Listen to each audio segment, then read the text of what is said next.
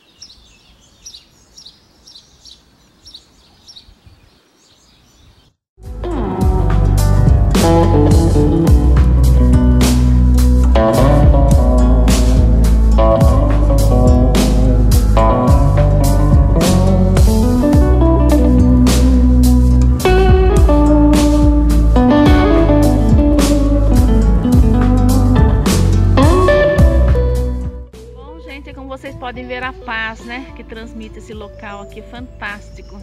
Eu sem palavras aí quando eu estou em contato com a natureza, para mim é uma coisa assim muito rica mesmo, que faz com que eu tenha um contato aí bem grande comigo mesma e também me sinto parte de um todo. Bom, com essa natureza maravilhosa, então eu vou finalizar o vlog de hoje. Espero que vocês tenham gostado aqui do nosso passeio na Cava de Viriato.